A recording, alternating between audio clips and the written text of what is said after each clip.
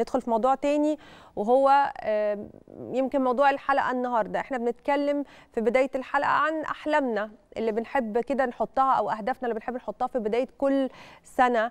آم، الأهداف دي آه، بيبقى عندنا ليها كده خط زمني إزاي أقدر أحققها إزاي أحقق هدفي. الجملة دي في شباب كتيرة قوي بيبحثوا عن الطرق السهلة اللي من خلالها يقدروا يحققوا الأهداف بتاعتهم بسهولة وإزاي يتعاملوا مع أي صعوبات ممكن تواجههم عشان يقدروا يوصلوا أكيد للهدف اللي هم عايزينه. خلونا نعرف تفاصيل أكتر عن إزاي تحقق هدفك. معانا الدكتورة سمر كشك أخصائي الصحة النفسية منورانا في استوديو. أهلا بيك يا فندم. نورك حبيبتي. يعني في البداية عايزين نعرف آه، يعني إزاي الشخص يكون عنده كده ثبات في تحديد هدفه والتغلب على الفشل والحصول على اللي هو عايزه. يعني بعض ال- الشباب كتير مننا مش هقول بعض الشباب إحنا كلنا تعرضنا لده في وقت ما. عندنا هدف معين لقينا صعوبة شوية طب يلا أروح أشوف هدف تاني. لقينا صعوبة شوية يلا أروح أشوف هدف تالت. إزاي أركز على هدف واحد وأثبته؟ اولا معرفة المهارات بتوفر كتير جدا جدا على الشخص إنه يعرف هو عايز إيه. يعني يعرف مهاراته يعرف الحاجات اللي هو بيحبها بيعملها بشغف بيعملها بيكون مبسوط. مش شرط تطلع نتيجة فورية ممكن تطلع نتيجة على المدى البعيد لكن هو أهم حاجة هو عنده شغف في إيه وبيحب يعمل إيه. ال ال ال الناس اللي حواليه مثلا أسرته الأم الأب بيبقى عينهم على أولادهم بيبقوا عارفين إن هم مهتمين بنقطة معينة. لما بيعمل ال ال الحاجة دي بيبقى مبسوط بيها جدا وعنده شغف ليها جدا ويبقى مستمتع جدا وهو بيعملها. فدي بتبتدي من وهو صغير. فاللي حواليه على ال- البناء لطفل عنده موهبة معينة وإن هم ينموها فيه دي بتسهل له بعد كده إنه يعرف يحدد هدفه. هل الهدف ده زي ما بتسألي طفل أنت عايز تطلع إيه أما تكبر؟ هو بيبقى في دماغه حاجة معينة هو بيحبها أو بيحب يتفرج على الناس اللي بال- بالمهنة دي. فممكن يكمل على كده وينميها وفعلا يوصل لكده. لو فضل طول عمره حاطط قدامه الهدف ده. طيب إيه، يعني كبر شوية وزي ما قلت لحضرتك ممكن يبقى هو عنده تخبط هو مش عارف يعني هل أنا النهارده أنا مثلا من وأنا صغيرة مثلا نفسي أبقى دكتورة لكن إيه ده أنا لسه هدخل طب سبع سنين ولسه هتخصص ومش عارفة إيه والكلام ده كله طب خليني أشوف حاجة تانية. هل إن أنا لما أقسم هدفي لأجزاء صغيرة بيكون أسهل عليا إن أحقق الهدف الكبير؟ طبعا. مم. أسهل بكتير. هديكي مثل بسيط لما تكوني مثلا عايزة تحققي target إن انت تحوشي ألف جنيه مثلا في, خلال شهر. فهت هت يعني ال target بالنسبة لك بالنسبة للحاجات ال- ال- المتاحة ليكي هيبقى صعب. لكن لما تقسميها لا ده أنا كده هحوش كل يوم مبلغ بسيط. فبالنسبة لي الموضوع بقى أقل. يعني مم. ال target اللي ه... اللي هوصل له في كل يوم أقل. طيب أنا ما باخدش المبلغ ده كل يوم أو مش هقدر أعمله؟ لا ممكن أزود شوية المدة بحيث إن أنا أبقى قادرة أحقق الهدف ده بعد شهر شهر ونص شهرين مم. أقسمه على الأيام لقيت الدنيا معايا كويسة وبسيطة وسهلة خلاص يبقى أثبت على ده مم. فتحديد الزمن أو الخطة الزمنية مهم جدا مم. تحديد الخطوات والأولويات يعني مثلا أنا عندي هدف معين علشان أوصل له لازم أمشي بخطوات معينة فبحدد الأهم فالمهم فالأقل مم. طيب بوصل باجي باجي للأهم بقسمه برضو لفروع الأهم ده الأسهل بالنسبة لي إيه علشان أحقق إنجاز لازم أدور على الأسهل في أهم حاجة مم. أول ما بحقق إنجاز بحس إن أنا يعني مشيت خطوة إحساسي إن أنا مشيت خطوة أو حققت حاجة فرحتي بيها الانتصار ده لوحده بيخليني أكمل بيديني حافز إني أكمل. أما بطلع الدرجة اللي بعدها بيديني حافز إني أكمل. ممكن أ- يعني أضرب برضو مثل علشان أقرب الموضوع للناس. أنا عايزة أخس 10 كيلو. حد حددت الوقت مثلا في سنة. طيب كل شهر يعني هل هقدر إن أنا أز- يعني أقل نص كيلو أو كيلو إلا ربع أو كيلو؟ يا ريت. بس إزاي؟ بحد بحدد الحاجات اللي المفروض أعملها النظام اللي أنا عملته.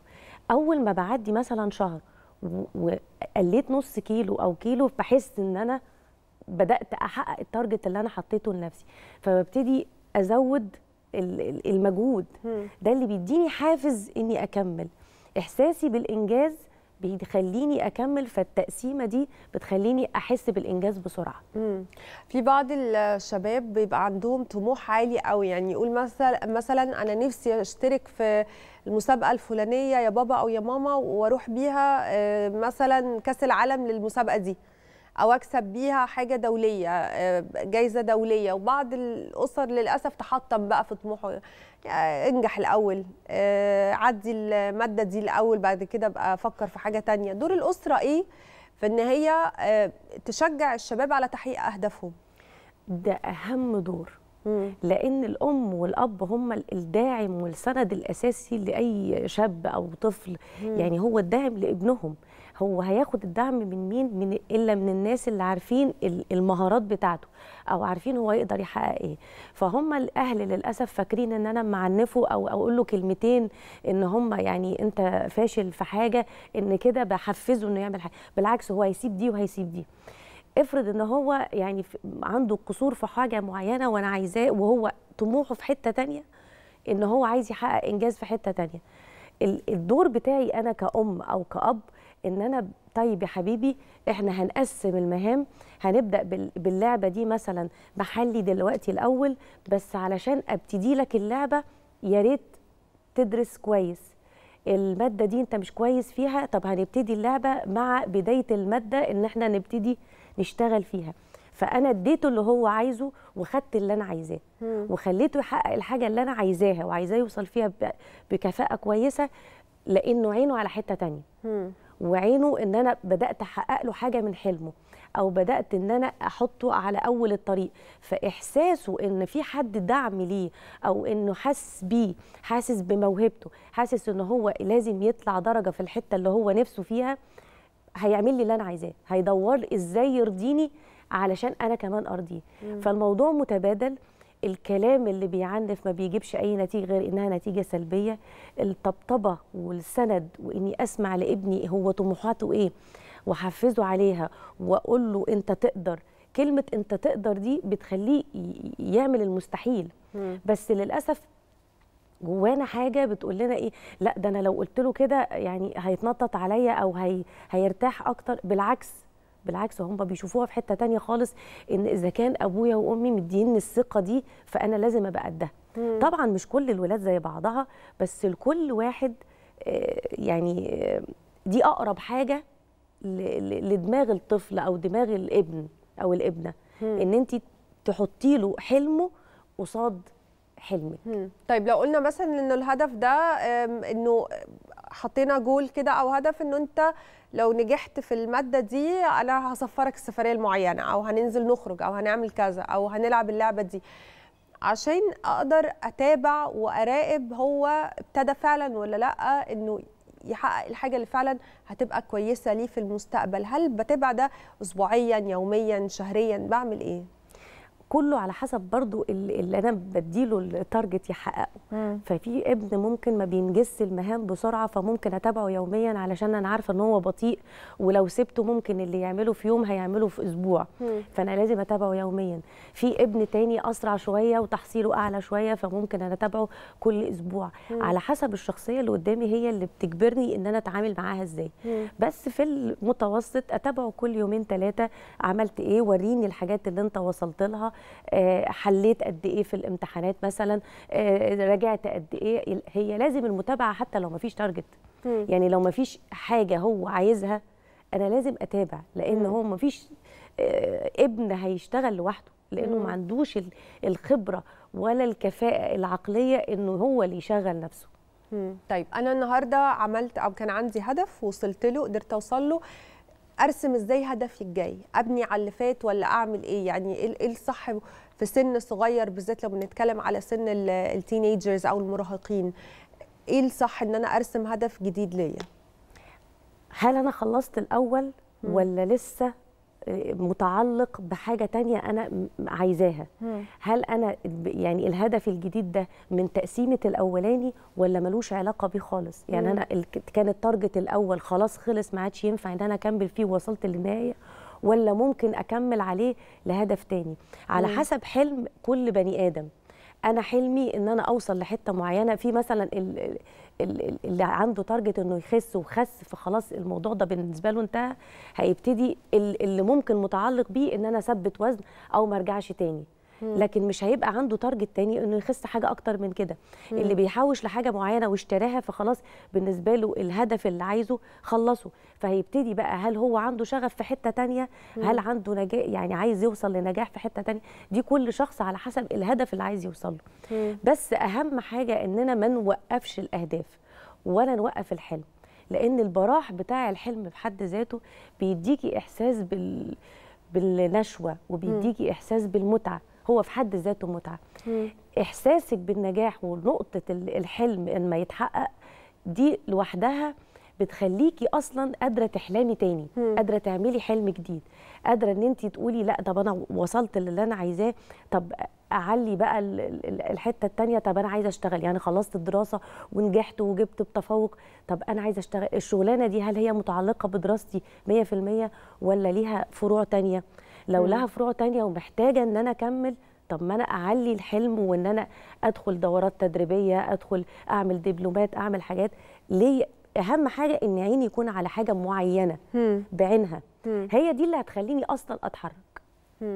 وبحفز نفسي إزاي بقى طول الوقت؟ إن أنا وأنا كنا بنتكلم في بداية الحلقة يا دكتور إنه دايما بتقعي في النص. يعني ده أساسي إنك عايزة تغيري حاجة عايزة توصلي لحاجة طبيعي إنك هتقعي طبيعي إنك هت هتبقي حاسة إنه إيه ده يمكن النهارده ما عملتش كويس يمكن أنا لسه بعيدة عن هدفي. إزاي طول الوقت أبقى بقول لنفسي يلا هتقدري هتقومي إزاي أقدر أعمل كده؟ أول حاجة مجاورة الناجحين. حلوة دي. آه. أما تجاوري حد ناجح خاصة في المجال اللي انت عينك عليه مم. فبيحفزك ان انت هتوصلي في يوم من الأيام. المحبطات كتير والناس المحبطة اللي تقولك لا ده أنا حاولت قبلك كتير وما وصلتش. لا انت ممكن تحاول طب ما أنا ممكن يكون عندي مهارة أقدر إن أنا أوصل. ما أسمعش للناس ال- السلبية. ابدا. مم. لأن كل واحد تجربته مختلفة تماما عن اللي قبله. طب افرض إن أنا تعمقت شوية في التفاصيل وح- وحسنت اللي أنت وقعت فيه. الحاجة الوحيدة اللي أسمعها للي فشل في التجربة دي إني أشوف النقط الضعف اللي هو وقع فيها وأحسنها عندي. إذا كان في دراسة أكمل دراسة عليها إذا كان وصل لحاجة معينة ومعرفش يوصل للي بعدها أنا أبحث وأدور لكن ما أدورش عيني ما تبقاش على الفاشل إني هبقى فاشل زيه. لا عيني هتبقى على الفاشل إن أنا آخد من فشله أحسنه أنا. الحاجة التانية بقى اللي اما جاور الناجح خاصة في المجال بيديني إحساس بطاقة إيجابية فظيعة. إن أنا أنا شايفة مثل قدوة قدامي إنه عدى الصعاب دي أكيد. وخاصة لما بيكلموا بيتكلموا مع بعض وتقول له يعني أنت عديت بقى يقول لك آه قابلني كذا وكذا وكذا وكذا اتغلبت عليه إزاي؟ هيديكي المجال ال- هيفتح لك مجال النجاح كان طريقه إزاي. مم. مم. يعني من جوري السعيد يسعد زي ما أيوة. بيقولوا. يعني بنشكرك يا دكتور. دكتورة سمر كل الشكر ليكي. سمر كشكي أخصائي الصحة النفسية. يعني النهارده اتكلمنا يمكن عن آه، كل سنة كده بنحط أهداف معينة والأهداف دي إزاي نقدر نوصل لها. ادينا لحضراتكم كده النهارده يمكن كبسولة مصغرة في إزاي نقدر نعمل ده وإزاي نصغر الأهداف. لاهداف صغيرة عشان نوصل لهدف كبير. نتمنى إن شاء الله السنة الجاية يبقى كل آه، أهدافنا كده تتحقق و- و- ونعيش الحلم اللي إحنا عايزين نعمله في الحياة. كل الشكر ليكم آه، مشاهدينا. عشان كده خلصت حلقتنا النهارده. نشوف حضراتكم بكرة في نفس الميعاد إن شاء الله كنت معاكم أنا بسنت الحسيني وزميلتي لمياء حمدين بنصبح على حضراتكم صباح الخير.